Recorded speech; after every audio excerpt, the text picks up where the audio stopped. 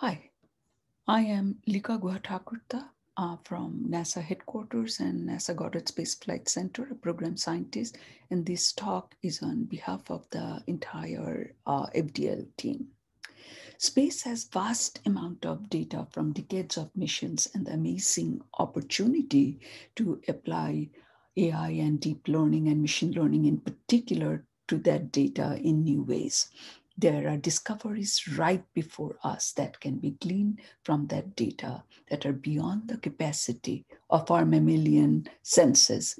So we established the Frontier Development Lab with NASA and the SETI Institute and leaders in commercial AI and commercial space to work on problems in space science, space exploration, but also challenges of relevance uh, to all humankind. This particular slide is an early example of FDL AI demonstration. Um, uh, we are um, basically at a point in our civilization where we can now digitize anything we want. It could be DNA, a face, or a fragrance. And once it is um, math and we have labeled examples, we can train a neural net. This is the Meteor learner, basically. Uh, here we are loading um, samples of meteorites into a probability matrix. This matrix is essentially learning um, um, from um, figuring out what a meteorite looks like. Meteorite is different from rock. They are sharp, in uh, jagged and not softened by erosion and have a fusion crust. They are black. And so this is something we can teach a neural net to recognize. And this is an example of a project we did and did exactly that. We taught this learner or inference model, this probability bin to do useful work. In this case, we are training neural net to recognize meteorites, which generally look different from rocks and after 26,000 images of meteorites, the neural net is trained. It becomes an inference model or learner. But let, uh, let us, in this context, use the phrase probability matrix to kind of take away the myth of AI. As this just reminds us that this is just a mathematical problem, it's just fancy uh, statistics.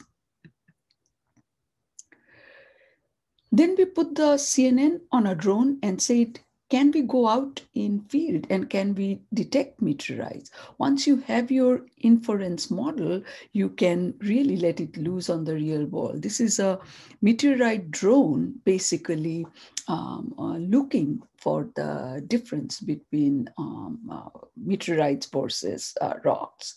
And if the drone is looking for pristine meteorite falls, which if you can get them before they oxidize or the professional collectors get there, will allow researchers to determine the composition of the asteroid family that it uh, belongs to. At asteroids tend to cluster, so if you knew where this meteorite came from, you can perhaps determine the composition of that family of asteroids. And in this slide, we are showing that the inference model was very successful. It found 16,000 possible, but also found the actual meteorite placed there by us with only two false positives. And so here we are. If we have trained data and you can train one of these learners, you can really do some cool stuff. So you can train a neural net to learn to recognize a digitized input with a high degree of probability, right? Just statistics. We can't see all of this data simply because of the limitations of our uh, senses. Uh, and AI tools are really quite amazing. Where it gets really interesting is when you don't have training data or you're working with 3D or multidimensional data, which is why this GIF is really quite amazing. Once an inference model is trained, it can see things that human can't with their limited um, million senses. Space science um, and deep learning. There are a few reasons why uh, machine learning, deep learning, and AI fit so well with space science. One of them is space science is data heavy with petabytes of data. And as Andrew Ng one of the thought leaders of AI pointed out a while ago, that deep learning just keeps on pushing envelope to the right, give it more data and it gets more accurate and happier. When properly architected, the efficacy of deep learning systems continue to improve with more data long after statistical models have uh, plateaued.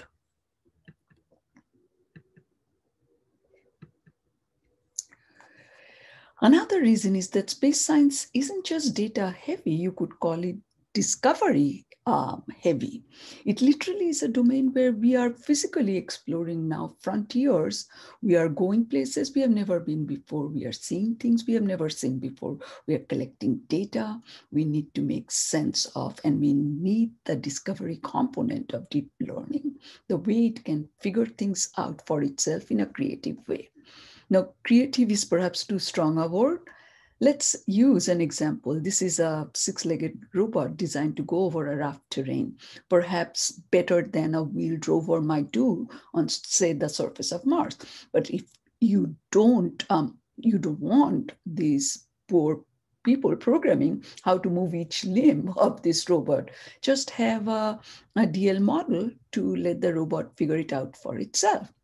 In this case, it was given a very simple metric, go forward, but touch the ground as little as possible, which is you know, pretty good proxy for efficiency. The gait will be efficient if you don't touch the ground with your feet more than you need to. It was set in motion and initially tended to be a little bit weird in its movement. The group went off uh, to lunch, came back, and found the system very proudly saying, I have achieved 100% efficiency. I'm not touching the ground with my feet at all. Let me, you've seen this in the movie now, right?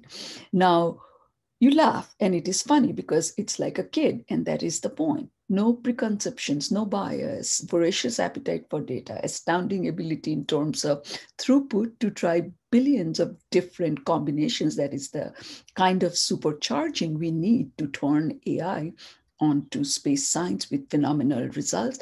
And it's on that basis that the Frontier Development uh, Lab was uh, launched. NASA gathers approximately two gigabytes of data every 15 seconds from over 100 currently active missions. We do this every hour, every day, every year, and the collection rate is growing exponentially. Handling, sorting, and managing this data is a massive challenge.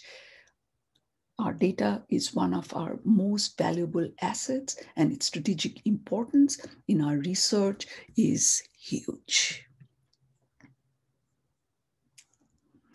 And this is the context in which, again, uh, FDL is born. What if AI meets space science? And what we have here is um, uh, really the partnership between um, NASA, the SETI Institute, um, and uh, leaders in commercial AI and commercial space. We are now witnessing an inflection point, however, where AI promises to become a tool for discovery, where the ability to process vast amount of heterogeneous data, as well as massive amount of data collected over decades, allows us to re revisit the physics-based models of the past to better understand underlying principles and basically radically improve time to insight. So the question is, why partner with the Silicon Valley? I mean, this is kind of a picture from uh, NVIDIA's, uh, you know, who also has been a big partner in this effort. Well, some of the reasons are GPU power outstripping Moore's law. We know that we live in the petascale era of data. Developing algorithm is just 5% of task. Developing inference model is costly. You know, we get over $1 million worth of donated compute time from our Silicon Valley partners, uh, and uh, along with expertise uh, in uh, uh, models. So there are many reasons why uh, FDL started in the Silicon Valley. very quickly, I just want to say that in um, February 11, 2019, White House issued an executive order on maintaining American leadership in artificial intelligence. And without going through all of the points, uh, all I want to say is FDL in its fifth year program has been successfully addressing many of these guidelines and meets many of the program objectives. A little bit of history um, as I mentioned, FDL is a public-private applied AI research partnership between NASA, the SETI Institute, and leaders in commercial AI, private space, academia, and partner space agencies. It is five years old. Uh, FDL has developed a proven formula for producing excellence in applied AI research over uh, rapid timescales with a focus on AI explainability to match the quality expectations of the space industry.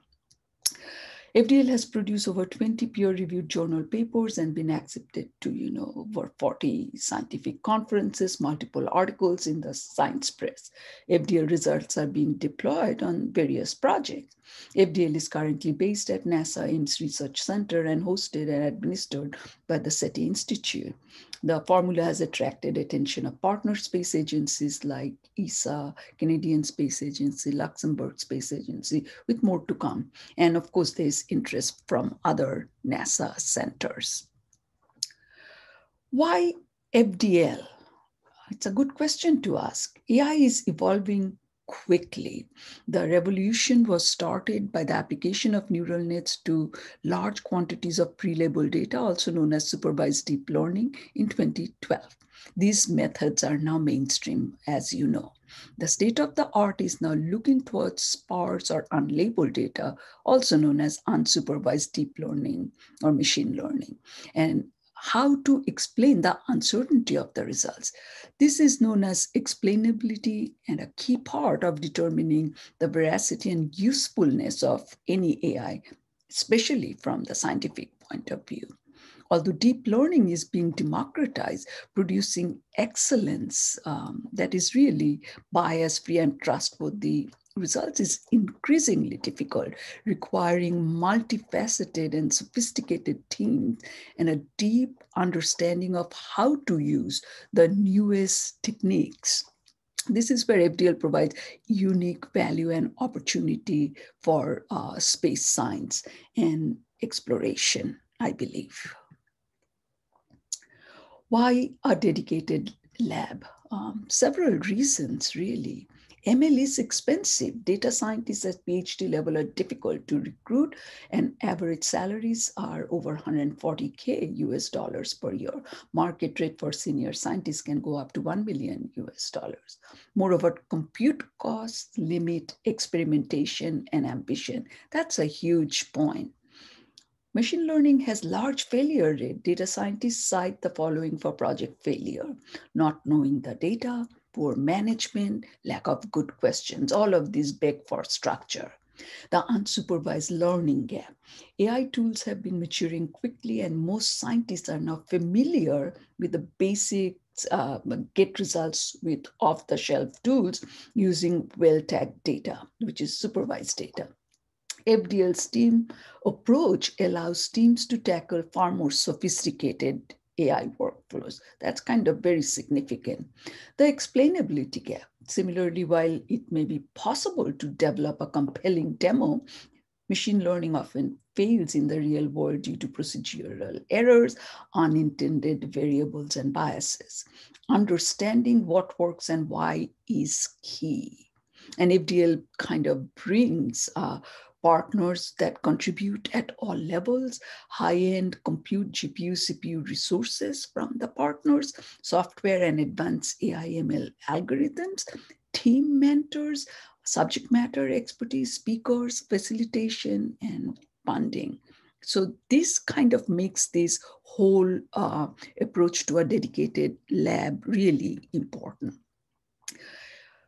this is following on on the same thread basically uh, what are the kind of problems that is most suited for fdl problems that require innovation in data pipelines um, basically um, training. Problems that use very large data sets, that is significant training and engineering costs, which is you know, time, capital investment, problems that require integration of numerous AI tools to create AI workflows, or problems that require high degree of confidence in the outcome, or problems that have sparse or dynamic data or require transfer learning. And you can see whole host of issues being addressed uh, here that are very applicable to the world of science and space science in particular. This is the FDL timeline or the event horizon, if we may call it that. Uh, this is uh, the SETI Institute in partnership with Trillium facilitates the public-private partnership by acting as a hub between space agency, academic and commercial partners. Our significant commercial partners to date has been uh, Google Cloud, and we got started with NVIDIA. How does FDL work? FDL tackles knowledge gaps in space science by pairing machine learning experts with heliophysics, astrophysics, astrobiology, earth science, and planetary science researchers for an intensive eight-week research sprint held in the summer um, break of the academic year. Although the journey um, from challenge definition through to finish result, which is the, the creating the tech demo and train algorithm and data product takes 12 months. Interdisciplinary, very important. Four-person teams of PhD and postdoc level researchers address tightly defined science challenges that are informed by knowledge of what's possible in ML. Mentors who are subject matter experts provide support to the teams and drive research quality. External um, and partner experts, special guests, um, and visits to partner labs contribute to the understanding of the problem and provide a community of expertise that drives excellence. And that community of expertise is growing. FDL's format encourages rapid iteration key because this world is moving very rapidly and prototyping to create outputs with meaningful application to the space program with substantial compute resources provided by FDL's commercial partners who have expressed ongoing commitment.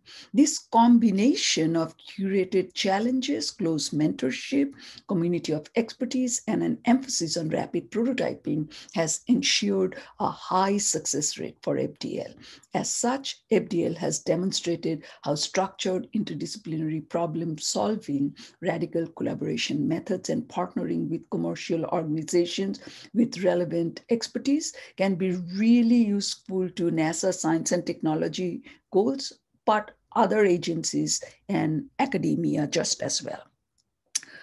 This, in a way, is showcasing, um, you know, um, the FDL uh, program that has been supported uh, by NASA to a large extent, extent with our commercial partners. And you, you, you can see that all the topics FDL has tackled so far kind of falls in the NASA strategic uh, goal, understand the sun, earth, solar system, and universe. And in that, within the Science Mission Directorate, we have three components, discovering the secrets of the universe, searching for life elsewhere, safeguarding and improving life on earth. And you can see your favorite uh, science discipline really represented in this um, uh, pie chart.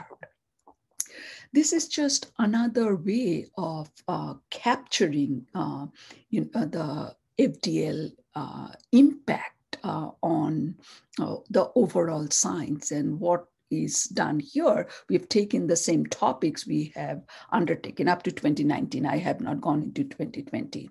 And then you see the FDL research result, you know, discovery with multidimensional data, workflow optimization, forecasting and prediction, decision intelligence, anomaly detection, autonomous systems. You can go to the FDL website and can find really details on any of this topic. And then I would like to say that FDL is really building crucial AI keystone capability uh, for uh, NASA. And you can see the FDL research result on top, like I showed in the previous uh, chart, and then the strategic capabilities for NASA that it leads to. Uh, discovery with multidimensional data leads to science breakthrough. Workflow optimization kind of leads to radical cost and time savings. You know, classification at scale, forecasting and prediction leads to situational awareness, uncertainty reduction, virtual instruments decision intelligence, it is rapid assessment, improved strategic decision making capability, anomaly detection, safer system. This can be applied anywhere. Autonomous systems, you know, onboard AI plus swarms, auto calibration. I don't have time to go into this, all these details, but I'm giving you a sample basically. And, and then really after five years, uh, what is the FDL proven formula for AI success? Top of the line is really FDL is interdisciplinary. Tailored teams of PhDs and world-class ML mentors are curated around a challenge to drive excellence, which leads to higher quality. FDL creates laser focus. Silicon Valley sprint methods, culture, and vast donated compute allow rapid iteration, key to ML progress, and so speed to, to results. FDL is about partner expertise. Commercial, academic, and space agencies partners combine to create a unique envelope of expertise that massively increases challenge success, raises quality, and lowers cost. That is the success model for FDL. And now I'm going to switch tune. I would let you uh, see this movie again, uh, created by FDL uh, before I really talk about some of the uh, science that uh, and uh, forecasting that we have been able to do with Frontier Development Lab over the last three years.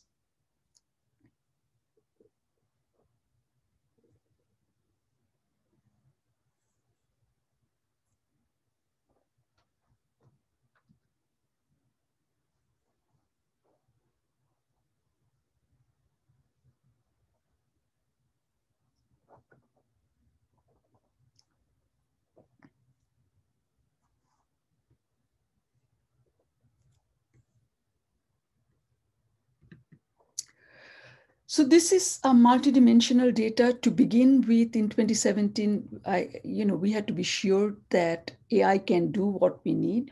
So we took this multidimensional data problem and one of our first case basically to test AI efficacy. The team built an AI model called STING, Solar Terrestrial Interactions Neural Network Generator to look at the interactions between the Earth's geomagnetic field and solar wind, which is measured by the KP index, uh, most of you know.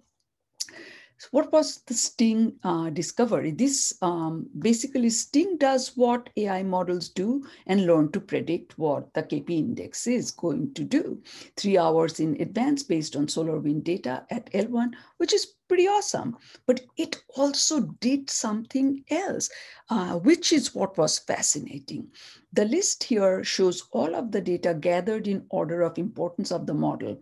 What is really, you know, like your magnetic field, uh, proton density, etc. But what is interesting is that the neural net elevated small unremarkable stations on the equator shown in orange, showing that the Earth's magnetic field bunches around the equator which the scientists know a phenomenon called the magnetospheric ring current, but the machine learning extracted important physical parameters without prior knowledge of the system. And to that extent, it is an example of an AI derived discovery. Now we have shown that we can predict KP, but uh, can we integrate uh, solar data, geomag, and ionospheric data to predict something that affects our daily technology? Um, and um, that was the next challenge. So the complex nonlinear nature of sun-earth interaction makes predicting space weather effects really difficult. To date, physics-based models do not make predictions on useful spatial and temporal scales. One potential solution to this challenge is, uh, challenge is to uh, use a data-driven approach to this end. We take into account the various aspects of the Sun-Earth system, and that's what we are looking at here, combining all the data. Applying these data sets to various machine learning techniques, we show it is possible to make predictions on space weather uh, effects. How exactly does the space weather driven disruptions occur? Or how does space weather cause GPS disruptions? So the global positioning system works by means of ground-based receivers communicating with satellites via radio signals. These radio signals travel through the charged portion of the Earth's atmosphere, the ionosphere. The ionosphere is a region of the atmosphere that is highly linked to space weather uh, variability and disturbances in the ionosphere can affect the ability of these radio signals to propagate between receivers. And that's what you're going to see. You know, there's scintillations in your uh, degraded performance or um, there is total loss of uh, GPS sensor. What's really interesting is that um, the same physics that leads to these fluctuations in ionospheric electron density also causes scintillation. Uh, that cause scintillation also manifests themselves as the aurora. So auroras are correlated with GPS uh, disturbances. And this was a really new area that uh, the team went into. Discrete structures in aurora uh, are more important for GPS disturbances. The bigger the image, the more significant basically are the uh, GPS um, disturbances. And so the team actually uh, were able to forecast disturbances one hour in advance, 50% better than previous methods. And uh, there are all kinds of other cool things, but I'm running behind, so I'm going to go fast. This is really cool. You should be reading the screen. This is, you know, what we did is um, uh, SDO lost a sensor in 2014 that uh, measured solar spectral irradiance, which is really a crucial input for um, determining kind of the environment in which uh, satellites uh, reside. And so the goal was, can we take SDO, AIA, UV images and combine them with the earlier uh, data taken simultaneously with MEGS a sensor and then create a proxy uh, or uh, virtually resurrect the MEGS sensor data. And we were successful uh, beyond um, our wildest dream. So, in a way, as you're watching this, I'd like to tell you imagine you've got an orchestra playing, and at some point, for some reason, partway through, one of the musicians playing the violin just stopped and walked off. Could you know enough about the way that music was playing to fill in the gap and recreate what you think that musician would have played if that musician was still sitting in the chair? That's sort of what we did we created a virtual instrument. Uh, expanding the capabilities of NASA's Solar Dynamics Observatory, we had already had a AI-ready data set, and basically uh, we used that to kind of create uh, other synthetic data set using the same data set. Uh, we looked at um, auto calibration of SDO Data. Uh, these are going to be very important for our future space missions. Here, we actually did what is called super resolution, that is try to create a homogeneous set of magnetogram data. A lot of these are ground-based, a lot of these are space-based, and the question, and there's high level of inhomogeneities. If we had long database, we could do so much more science. So this was just trying to super resolve. Um, in the next chart, I'll show you uh, uh, super resolve the data between um, one of the ground-based instrument, Gong input data, and you can see the machine learning Gong output data. There is tremendous potentiality here. This is in a nutshell, kind of giving you the various components of what we have achieved, deployed AI, published research, data product tools, startup from each of our uh, topics. Power of partnership, AI is really changing the way we think about problems. I mean, Google and Cloud and NVIDIA are playing a tremendous part. FDL is interdisciplinary, that is the key. Data scientists don't know the pitfalls, domain scientists don't know the full toolbox. So we have to pair them up frontier development formula very clearly. I think we are uh, beginning to realize that AI is phenomenally powerful tool, as significant perhaps as the CPU. But again, it's another word for fancy statistics. We provide research talent, challenge plus data, and capacity plus capital. It is really a culture of where anything is possible. And I'd like to end with this remark from Stephen Hawking, who said, I think the 21st century will be the century of complexity. We have already discovered the basic laws that govern matter and understand all the normal situations. We don't know how the laws fit together and what happens under extreme conditions. There is no limit to the complexity we can build using those basic laws. And basically, I propose that we kind of start a grand challenge in space science, integration of the knowledge provided by the vast amount of data collected by NASA for the Earth system, the heliophysics system, the solar system, and the universe beyond, coupled with theoretical and computational models to understand and predict the behavior of the world we live in. Thank you.